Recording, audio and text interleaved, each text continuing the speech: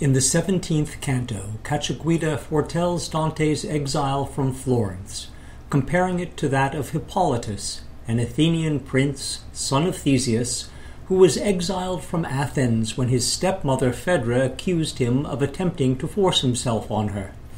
Phaedra herself, like Potiphar's wife, was the actual erotic aggressor, and she falsely accused the youth when she was rebuffed.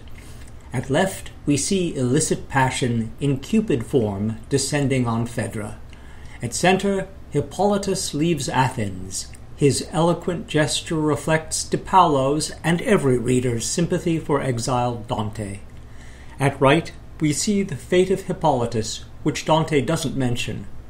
Theseus, believing Phaedra's slander, called down a curse on Hippolytus, which resulted in a fatal chariot wreck.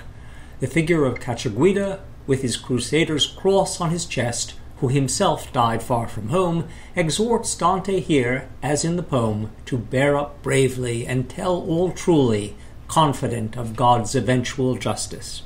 Here we have it left Dante's exile from Florence. He is literally thrust out of the gates by one of his fellow citizens. The lily on the shield identifies the city. The lily, Giglio, was used as an emblem of Florence for more than a thousand years, since the beginning of the Crusades. To the right, we see Dante in Verona, the guest of his patron Can Grande della Scala. The poet looks out over the river Adige as he composes his poem. Still in the heaven of Mars, Cacciaguida leans out from behind the planet to explain the vision presented – Note that the war god has been made into an angelic intelligence by the addition of wings. Cacciaguida shows Dante that the great cross which dominates the heaven of Mars is actually filled with mobile, luminous souls. To Dante, they appear like bright spheres. Cacciaguida explains that they are the spirits of great heroes, including Charlemagne and Roland. Di Paolo has compromised between Dante's words and pictorial necessity by showing the heroes as figures from the waist up, the rest of their forms lost in golden radiance.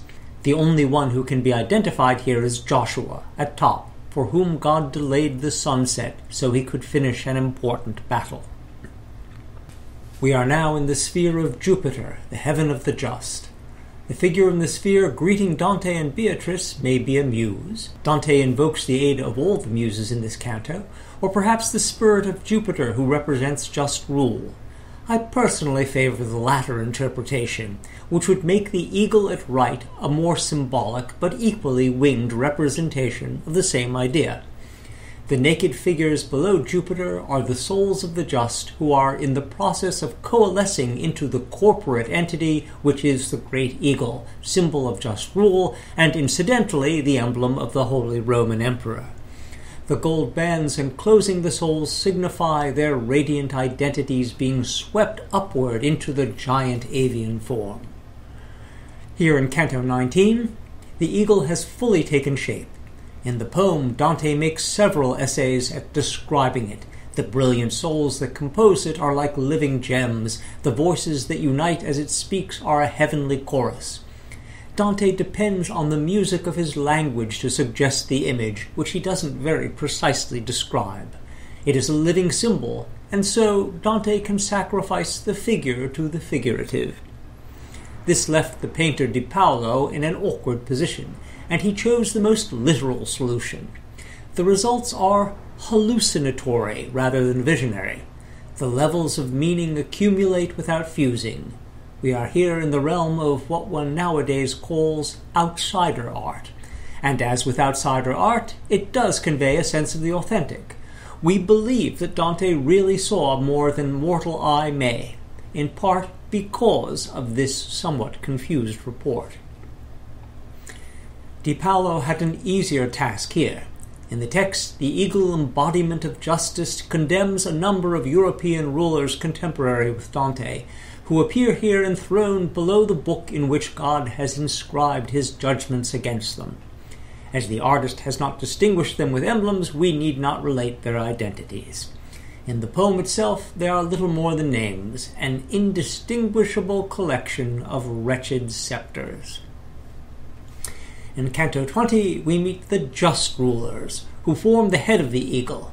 We are shown here the souls of Trajan, Hezekiah, David, and William II of Sicily. The only one requiring special notice here is David, who is shown with his harp. Being the ultimate exemplar of good rule, especially for Dante, since he was both a king and a poet, his radiant soul forms the pupil of the eagle's eye, which Di Paolo represents by setting David both above and in place of it.